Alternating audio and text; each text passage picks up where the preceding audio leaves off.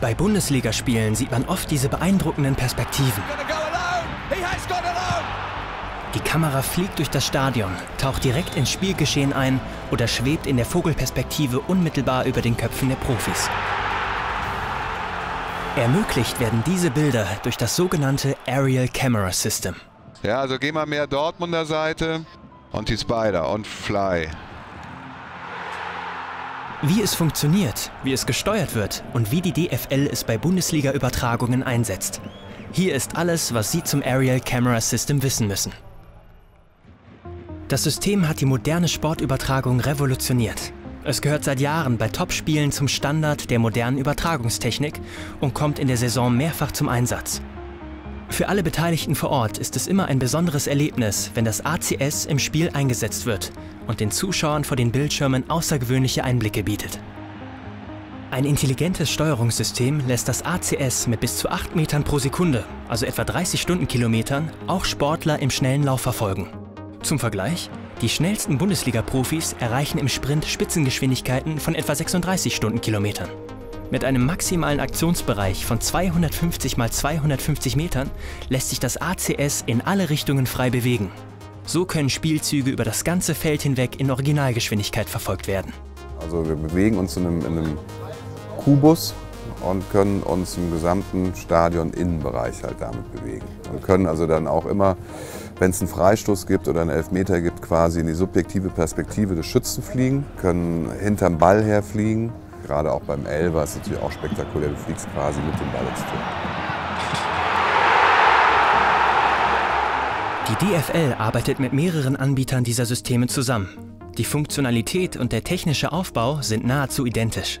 Der Transportwagen, der für die weichen Kamerafahrten verantwortlich ist, nennt sich Dolly. Er besteht im Wesentlichen aus drei Teilen.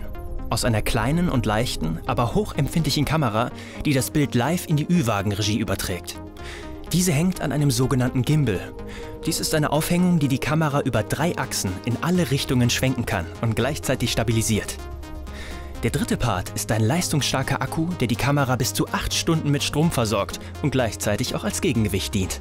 Die Kamera ist auf einem Schlitten an dem Kamera Dolly integriert und dieser Kamera Dolly hängt an vier Seilen. In diesen Seilen sind Glasfaserkabel verarbeitet, die das Bild- und Tonsignal von der Kamera zum Operator übertragen und für die Steuerung der Kamera und des Systems sorgen.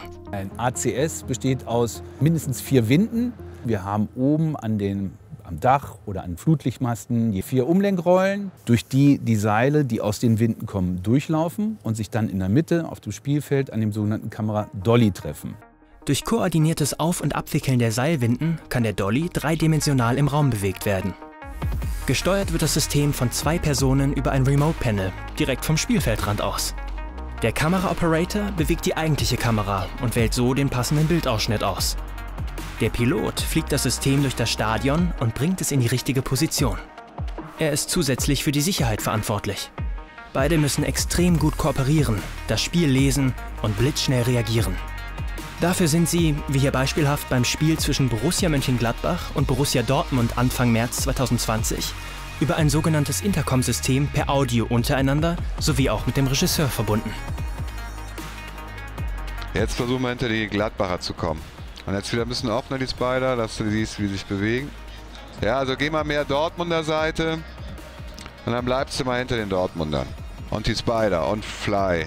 Und geh mit da ja, ist doch schön.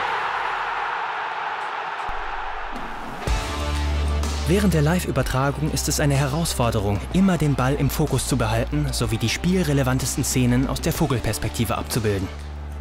Das bedeutet 90 Minuten hochkonzentriertes Arbeiten. Das ACS wird aber nicht nur im Spielgeschehen verwendet. Zu seinem längsten Live-on-Air-Einsatz kommt das System unmittelbar vor dem Spiel. Hier werden mit Hilfe von Augmented Reality computergenerierte Grafiken und Zusatzinformationen in das Kamerabild integriert. Das ACS kann genaue Tracking-Daten zu Kameraposition, Ausrichtung und Objektivparametern ausgeben. Mithilfe dieser Daten können dann Echtzeit-3D-Renderings wie Mannschaftsaufstellungen, Logos, Tabellen oder Statistiken so exakt im Bild eingeblendet werden, als seien diese Grafiken tatsächlich im Stadion zu sehen. Neben dem ACS nutzt die DFL auch eine Drohne, mit deren Kamerabild ebenfalls Augmented Reality Grafikelemente live integriert werden können. Ja, wir haben heute zwei Augmented Reality Systeme, nämlich einmal das ACS, aber auch die Drohne.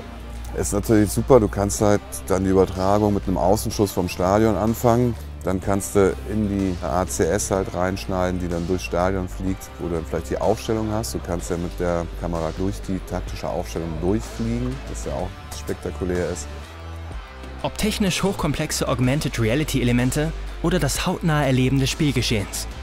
Die DFL nutzt die Aerial Camera Systeme, um genau diese Erlebnisse mit den Zuschauern zu teilen und auch in Zukunft spektakuläre Bilder von spannenden Fußballspielen zu ermöglichen.